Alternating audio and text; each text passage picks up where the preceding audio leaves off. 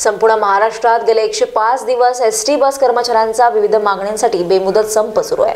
त्यामुळे संपात सहभागी असलेल्या कर्मचाऱ्यांवर उपासमारीची वेळ आली आहे.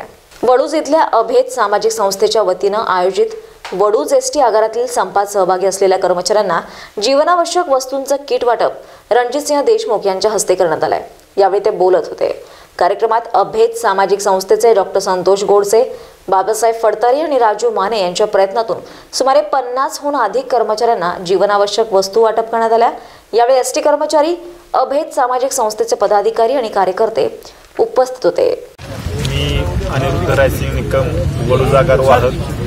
गेले एकशे तीन दिवसापासून आम्ही दखोट्यामध्ये सहभागी असताना अभेद सामाजिक संस्था संस्थेचे संस्थापक माननीय रणजित भाया डॉक्टर गोडसे यांनी जे आज आम्हाला धान्याचं किट वाटप केलं आहे हे खरंच आम्हाला एक लाख मोलाची मदत आहे. आमच्यासाठी कुठल्याही गेल्या तीन महिन्यापासून आम्हाला कुठल्याही प्रकारची कुठलं काय मदत मिळत नव्हती जी एस टीकडून मिळत नव्हती शासनाकडून मिळत नव्हती पण आज या रणजित भाई यांनी आणि डॉक्टर साहेबांनी आम्हाला मदत केली. त्याबद्दल मी त्यांचं शतशा ऋणी आहे.